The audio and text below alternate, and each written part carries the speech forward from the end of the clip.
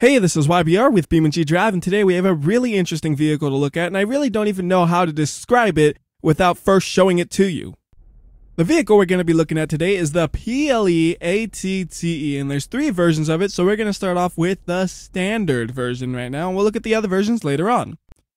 So here's your first look at the vehicle itself. It's just this absolutely massive 8x8 futuristic looking vehicle, and that's honestly the best I can do for describing how it looks. You just kind of got to see it to get an idea of what it looks like. It's definitely something different. It's not a normal car at all. It's just this crazy looking thing. And it's called the PLE ATTE because it's, inspi- it's inspired by the ATTE from Star Wars. And you wouldn't believe how badly I wanted to say Star Trek throughout this whole video just to make people really uh, annoyed and mad. But I decided, you know what?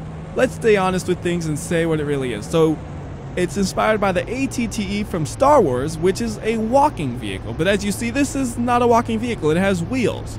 So it's basically a reimagining of that vehicle, saying, what if instead of having feet, it had wheels? Now, right here, I want you to watch this middle section right here.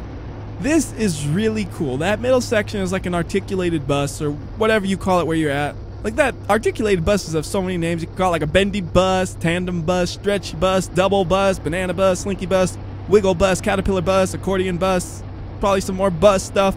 But point is, that section right there is really cool because it's like what they have on the articulated buses, where it allows the two sections to move somewhat independently of each other. So when we're going over bumps and stuff, you'll notice there's stretching between the two when you go over it.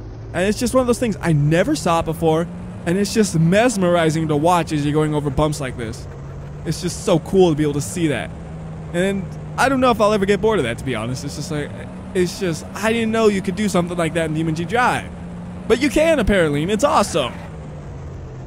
So, hypothetically, if you wanted to make an articulated bus, you can. Uh, anyways, though, back to the vehicle itself and its history. This was originally a Rigs of Rods vehicle, so you might recognize it from that, and it was ported over to BeamNG Drive by the same author who made it for Rigs of Rods. And it does have functional lights and stuff, so brake lights, for example, you can see them right there. It has headlights as well. Lots of lights, actually. It lights up on the back and stuff, even if you look close enough, you'll see that these lights, like right around there, light up. It's just a nice little detail. And the light headlights are fully functional. Brake lights are fully functional. And it even has signals for when you want to change lanes. Although, I'm guessing you don't need to use one of those. When you want to change lanes with this, people will respect you. Or else they'll die. Because this thing weighs, oh, like 25 metric tons rounding down a little bit. 25 metric tons. That's a lot of weight. That's ridiculous. This whole vehicle is ridiculous, though, in the best way possible. And one thing that's surprising about it, even though it's just this absolutely massive, crazy vehicle, it's really good on your frame rate, believe it or not. Like, if you can run a normal vehicle, you can probably run this vehicle because most of the details for this vehicle come from the textures. The model itself and the J-beam structure, it's really quite simple but the textures make it look a lot more complicated. And that really is what allows this vehicle to run so well. Like I said, if you can run a normal vehicle, you can probably run this massive behemoth vehicle. And I didn't expect that. When I saw this thing, I was just thinking, oh, that thing is going to lag so bad. But honestly, I'm getting like 55, 60 frames per second, which is about what I normally get with a normal vehicle. Like compared to the T-Series, the T-Series gets me, oh, I don't know, like 30 frames per second. So it's significantly less laggy than the T series by comparison, and that's great because I I like vehicles that are able to look good and run well. That's that's something that's really nice to have. That means anybody can use this thing unless you have like a laptop from 2002 that can't even run the game in the first place. Well, then you're screwed. Otherwise, you can run this thing and drive it all over the place like I'm doing right now. So right now, though, we've just been using the normal version, but there are two more I could uh, go ahead and look at. One of them I probably won't do much driving with, because all it does is it makes the articulating part right here a solid object instead of having the bendiness to it. And I like having the bendiness to it. It's fun that way. Like going over these rocks, here's a really good spot to like, oh, get stuck on a tree. This tree is too low. Now this vehicle's too massive. That's the actual problem. Okay, go a little bit around the tree, but as I was saying, you could really, again, see the articulation in action. By the way, this thing is a pretty good off-roader. I will say that now. This is a good off-roader because it's just eight wheels, all with power and a lot of power. This thing has like 2,000 horsepower, and I'm not even joking. Look, here we go. 2,000-ish horsepower. 1,925 is about where it's peaked out. It peaks out, it looks like. That's a lot of horsepower. And then the torque is another story. The torque on this thing is over 600 newton meters. And I I don't know the exact conversion rate to foot pounds for that, and I can't remember if there's a way to switch what it says, but that's a ton of torque, trust me. That is massive torque. Anyways, let's uh let's do some more driving with this and uh, maybe we can look at the other version. The other version, the one I'm actually going to look at, all it does is gives you rear steering as well, so then you have the front and rear wheels to steer you around places, and that actually is really useful for when you're doing off-roading stuff. But right now I'm just jumping around and showing you how this suspension is able to just dominate whatever it goes at. Like there's like a something that would normally bottom out a car, not an issue. Like this cube right here, a little bit of an issue. Oh, my whole wheel just exploded. Well, that's okay. Got more wheels where that came from. Oh, that did more than just break the wheel. That broke the whole drive line and stuff. Okay. Well then, I guess I'll reset you. I think instead of just destroying the ATTE, I should now give it a chance to destroy something on its own because this vehicle is also really good at destroying things. So for example, I'm going to take this truck and I'm just going to park it somewhere around here. And then we could just take the ATTE to that thing and run right over it. Eh, that truck compared to the cube is nothing. The cube got a lucky hit on me. The truck, he can't do that. We could just run right over him, do a little bit of slow-mo. Right over that truck all four wheels on this side will run over the truck. Maybe even some on the other side, depending on how it bounces. Or maybe they'll just get stuck under here. Or we'll hit a jump, and I don't know what's going to happen at this point, honestly. Run it over like that, too. That's interesting. I managed to run it over with both sides of the, the vehicle. But anyways, that's what it did to the truck. Interestingly enough, I think this truck would still drive. It's just upside down. Hey, you can fix that, right? Oh, yes, I can. And I don't mean the fact that the truck's flipped over. I mean the fact that it still drives. Although, when you crash a vehicle, it actually makes it where it can still drive for quite a long time, usually. Because it doesn't usually damage the important bits. I, just in case, you know what? Just, just in case it could still drive, let's go ahead and back up on it. Oh, it's stuck now. How dare you get stuck? I'll back up more. Then I'll go forward. I'll just keep running you over so much. All right, let's see if that uh, finally killed the truck. Truck's like, no, I'm good. The truck just, it don't even look like a truck. It don't even look like a car. But it's like, I can still drive, sort of.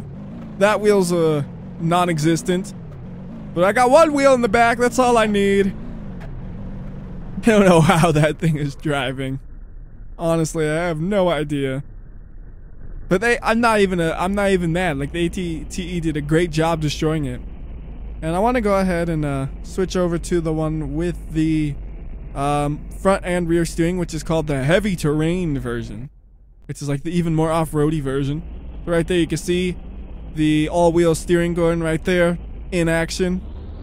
And that actually gives you a much better turning radius, so you can just see nice tight maneuver I could run over the truck again. I just like running that truck over. I need a new truck. Something bigger. That's what I need to do. Let's uh let's do this. Let's try to try to run over a plane. That's gonna be interesting. Another thing I should mention is this vehicle actually oh just crashed a little. Oh no, it's stuck in the wing. That's not what the goal was. Oh, I made a mistake. What I was saying though is this vehicle has a turbo button and it allows the vehicle to go over 700 miles per hour, which is the highest speed I've ever seen for a wheeled vehicle in BeamNG Drive. The only thing that goes faster is something that flies like the OVO 11 or something that's a plane that's falling in sun gravity. That's about the only things I could think of that's really faster than this thing than the turbo mode. And right now we're hitting the plane, just broke him in half and shoved him out the way. He's a little too tall to actually run over because we're about at the same height. But I could pretty much just shove this plane along without any concern, especially if I use manual mode. Manual is a little bit better for this vehicle, I've noticed, because under some circumstances, the automatic it doesn't shift exactly. Like when I was ramming the plane, it was in third. If I put it into first, I can really shove that plane out the way. Now, I don't know if this will make a difference for sure, but I wonder if we have the landing gears closed and put the plane lower to the ground, can we actually crush it? That's what I want to find out. Another thing I should mention is I think it's also faster in manual. Uh, just driving it, it feels a lot faster in manual because I always shift it like as high as the tachometer will go, so it makes it definitely feel faster. And I know I missed the plane. Don't worry, that was intentional.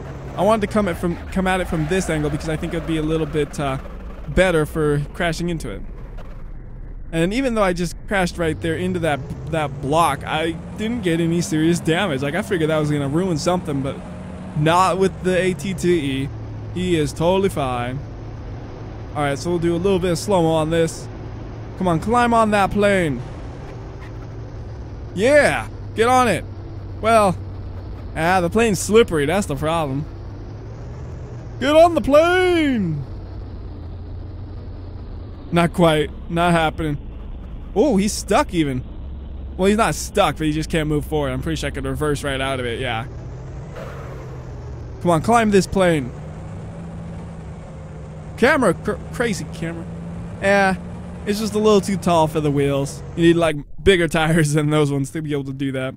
How about this? What if we tried to make this thing face off against the uh, the uh, MAZ or MAZ or whatever you call it? You know, you, I've heard people say it's both ways. So I'm just like, you know what? I'll say both names. How's that? Because this is also an eight-wheeled vehicle. It also weighs a lot. 23 metric tons, rounding up a little bit. So it's not that big of a weight difference. I am pretty sure the ATTE is going to win, though. That's why I am going to be the ATTE, because I want to be a winner, not a loser. It also, so, because it has like a weight, speed, and size advantage. So I don't see it losing. Like, it's one of those things where, how could it?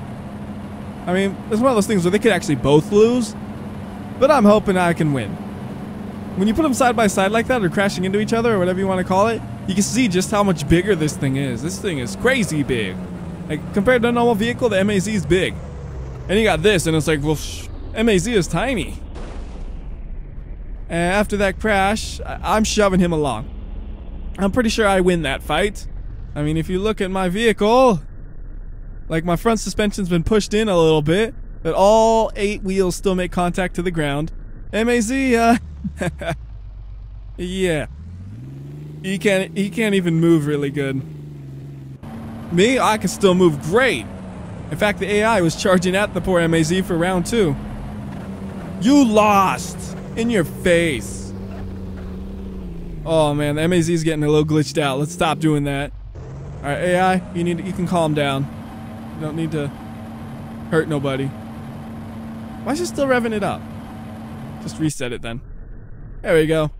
How about this? Can it stand a cannonball? That's the next test I want to do, so let's grab the cannonball. And I'm just going to teleport it into position near the ATTE. And I know I just abbreviated it as the ATTE. It's just easier that way instead of saying PLE ATTE. It's not an official abbreviation for the vehicle by any means. Uh, it's just easier on me instead of like spending so much time to say the name. Anyways, here is a cannonball. Line it up, raise it a little bit. There we are. Parking brake on. Shoot! Ha! it just bounces off. It's like, what is that? You call that an attack? This thing is from Star Wars. They use lasers because cannonballs are, I don't know. They don't use cannonballs is all I'm saying, man. A little bit up. There we are. Hey, we got a little dent. That's all the cannonball did. Oh, I got hit.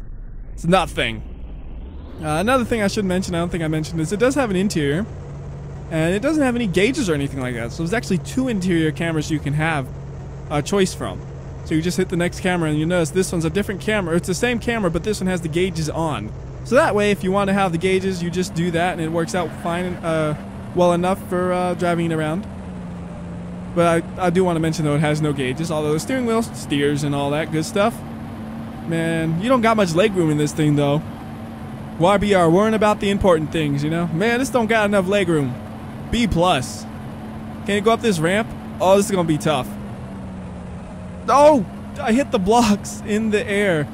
This thing is so tall, it, it got caught on those blocks and then, well, everything went bad from there. I think if we were really careful, we might have been able to avoid that, but I didn't see it coming. I was just like, oh, we hit the blocks. Okay, then. Oh man, I just ate the cannon alive. Sorry, cannon. Didn't mean to do that. It just happens. Alright, cannon, here's your chance. Shoot that guy. It's like nothing. Uh, anyways, though, the next thing I want to do is just show off that top speed I was talking about earlier. And we could do that here if I uh, go to the edge of the map and then drive from there. So let's go ahead and do that. Looks weird out here, doesn't it? Anyways, the turbo is used by holding down the T key like a lot of modded vehicles have. And here we go, turbo on. We're just gonna shift all the way into first. I'm not even gonna bother accelerating. We're just gonna let the turbos do the job. And I believe that speedometer might be an airspeed speedometer. I'm not sure. I want to say it is, but I'm not 100% on that. Anyways, we're at 300 miles per hour and we're just getting started. You notice it just keeps going, like 350, and there's no signs of slowing down. Just 400, keep going, keep going. 450 now, and then like it's insane fast. Obviously, it's hard to really get a perspective of how fast this thing's going because there's literally nothing around it at this point in time because it's gone so fast and so far. But yeah, 650 now.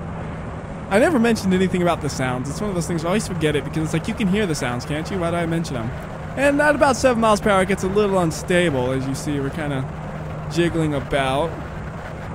I can keep it going straight and we can even hit 800 miles per hour. It's one of those things I've never actually saw how fast can it go.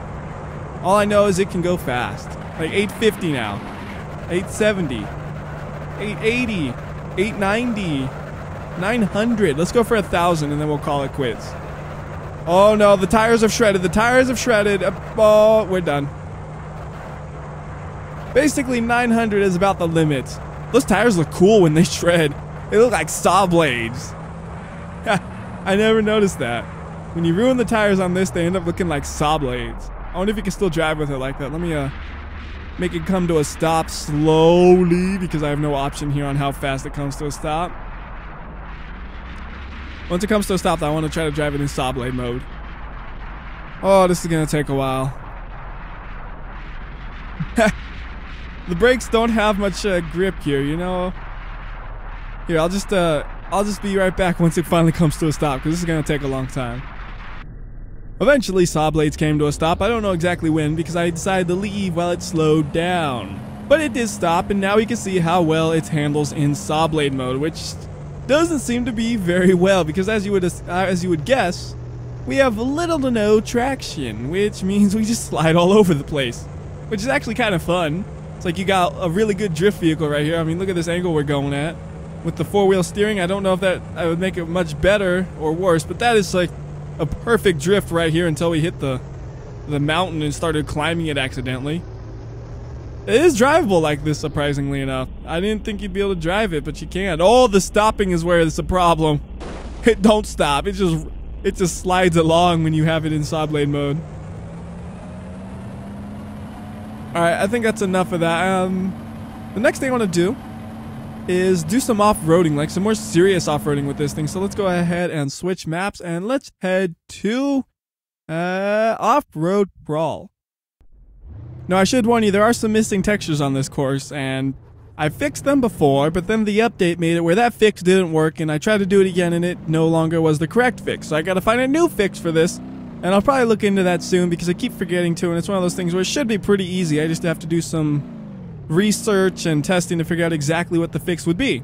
But until then, we have to drive on somewhere that looks, well, very unusual. I don't know how to even describe this. It's very strange. Like maybe a volcano erupted and just spewed lava everywhere, and this is the dried lava, except it kicks up dust. So I don't know. I'm trying to make it sound logical, but there really is no way. It's just a glitch. Um, but anyways, right now I'm driving to this course over here because this is a nice wide course, which we need because this ATTE is so big, we need to make sure it, it doesn't get stuck on the edges of the course. Now for a normal vehicle, this is a really difficult course. For this, not so much. Hardest part about driving this on this course is just making sure you stay on the course and you don't accidentally uh, go too fast and fly off of it. Otherwise, it is really easy to go through a course like this. So like right here, this turn, that's the hardest part to make sure you go around a corner without crashing. Otherwise, There's nothing that'll really stop you here. Like you can just go over all of these rocks and everything and it's nothing.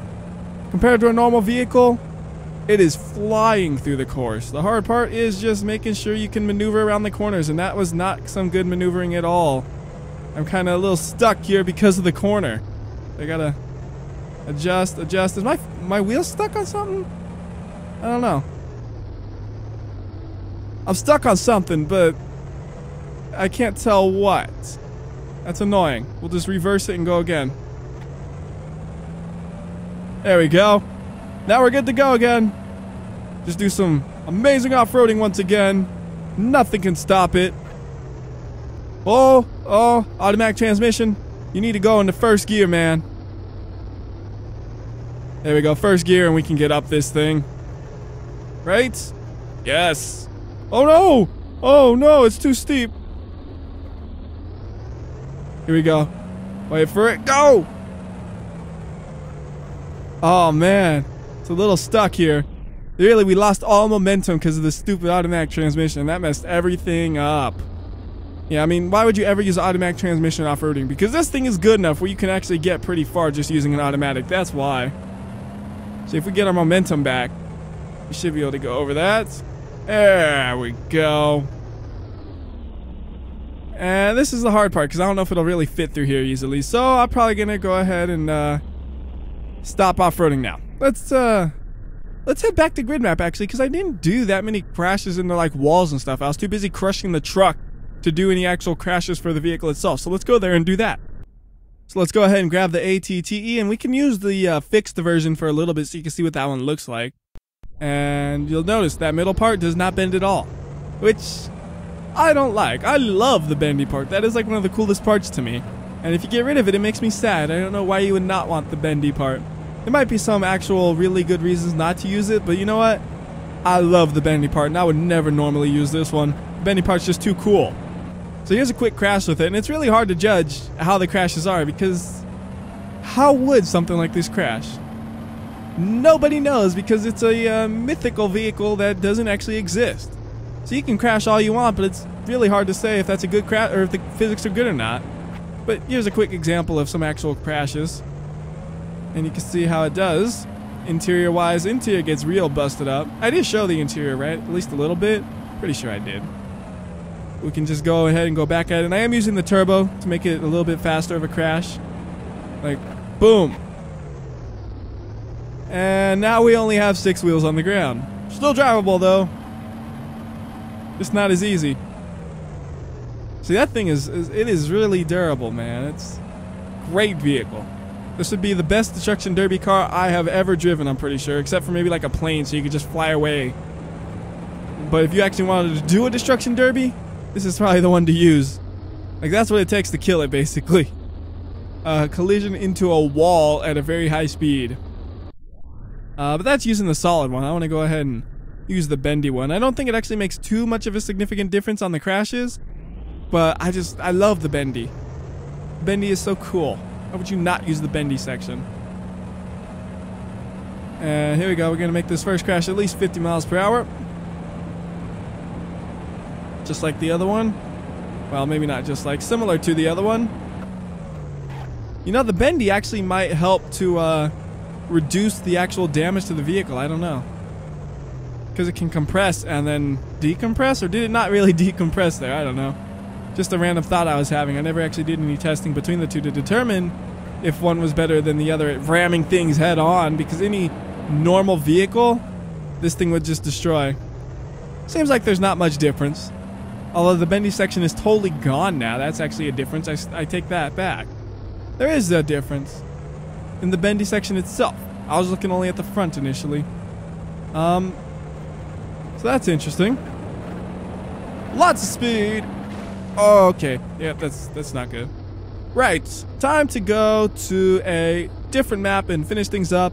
And we're going to do what's traditional. So we're going to go to Cliff, and then Leap of Death, and then, uh, what's it called? Uh, Brutal Slope. All right. Let's see. We'll uh, use the standard one here. And I could probably drive down this thing really easily. But that's not the point right now. The point is to crash down it and see what kind of damage it sustains. So that's what we're going to do. I wouldn't be surprised though if at the end of this it still drives. Just being so big and massive and, and uh, really durable, it might. Yeah, one tire's broken. So what? We got uh, seven more. Bouncing all over the place, and how are you doing, car? Well, you're not a car, are you? You're more like a, a wheeled tank than a car. If you weren't upside down, I bet you could drive. Like that, there. Drive, drive, drive, drive. Nope, I'm, ups I'm upside down again. Right set up. Yeah, alright. Can you drive after that? Yes, you can. Not very fast, but it can drive. Pretty impressive. I wonder if it could drive on under the water. Or if it actually drowns. Like some vehicles drown, some don't. It just depends on if they're configured to. And I didn't check it, so we're gonna check. Can you drown? Nope. It's just like, I don't care. I can't drown. And there is a possible uh, excuse for the for the uh, fact that it can't drown. You could say it's using some high-tech Star Wars engine that uh, is able to go totally underwater without an issue. I did uh, manage to just shred the tires doing that, though. I'm not exactly sure how that happened. Um, oh wait, no, it didn't. It looked like the tires were in saw blade mode temporarily, but they weren't. How weird. I can't be the only one who saw that, right? Anyways, we can go ahead and drop it from the top of the cliff again at a different angle, and then we can make our way to Leap of Death so it actually has a challenge. I mean, I know it did kind of not drive well after this one, so it is a challenge, but Leap of Death is a whole nother level. I love how it wags around as it falls. Like, it is just such a neat vehicle, man. This thing is cool. And it's stopping. Yeah, it stopped. So let's go ahead and change levels and head on over to Leap of Death. Where are you? Uh, there you are. That took a really long time to load. Like, it's a good thing I edited out loading because otherwise, oh, I would have ran out of things to say. That took like a minute and a half to load for some reason. Anyways, let's uh, let's take this thing down the ramp, and we're gonna do this really sloppily, so we can do like a flip and a roll and all kinds of stuff. Makes it a lot more interesting, I think, when you're like tumbling like this, because you never know where exactly it's gonna hit until you get really close to the ground and it actually does hit, like that. And front got all the impact. The back's like, I'm fine. Well, not fine anymore, but he was pretty fine. And now we just keep tumbling all the way down. Seems like it held up uh, relatively realistically, no major glitchiness or anything yet. I'm not saying there won't be, because I see something that might be. But for the most part, it did pretty well. Like when you have a vehicle that's so different, it's always hard to hard to know if it'll actually hold up well or not. You know, just being 25 tons is gonna be something to look at. But it did well there. I think we can go ahead and put it to the top and go again, but this time we're going to turbo off of it, so we're going really, really fast. So there we go, and I'm still turboing because we can.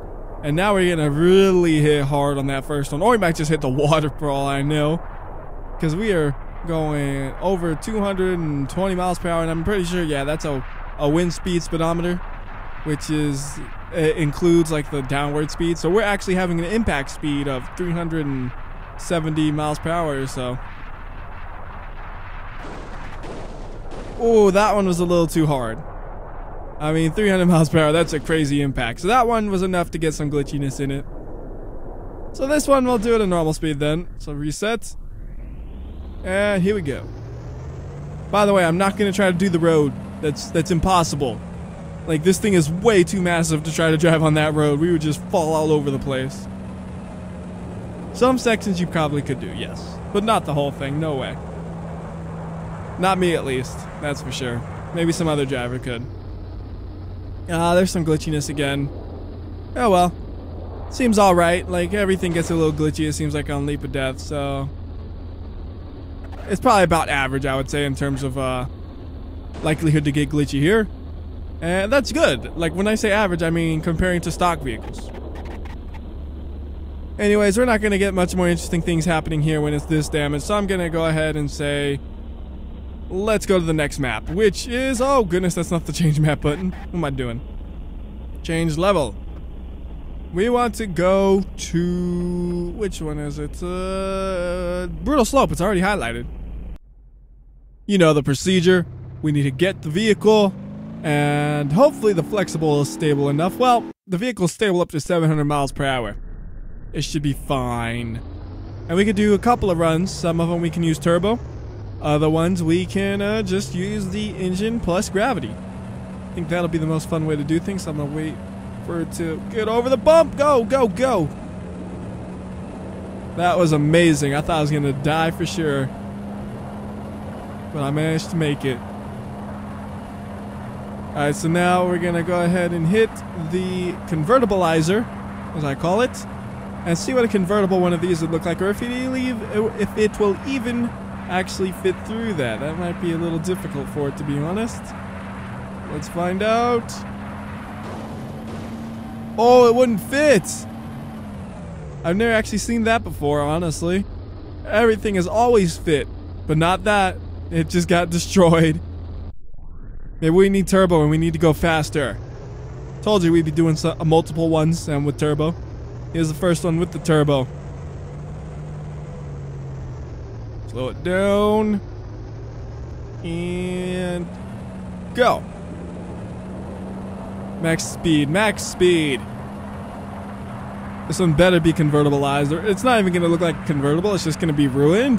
But I don't care. I just want it to have uh, have the ability to fit through here. So, fits. Yes, it fits. It's also completely ruined, but I got to fit. That's all that mattered to me. Is like it fit. That's good. Anyways, back down the hill for the last one, maybe. I don't know if I'll bother doing a uh, high speed run or not for the brick wall. It depends how this first one turns out, really. First thing I gotta do is line it up. We are way crooked. I think that's gonna make it eventually. Yeah, yeah, we're good. I might overshoot it actually. I gotta go left now. Go left, go left. Alright. Perfectly centered. At least really close to perfectly centered, maybe a little off. After a crash like that, I'm thinking that's a good ending. Spiked up though, that's funny looking.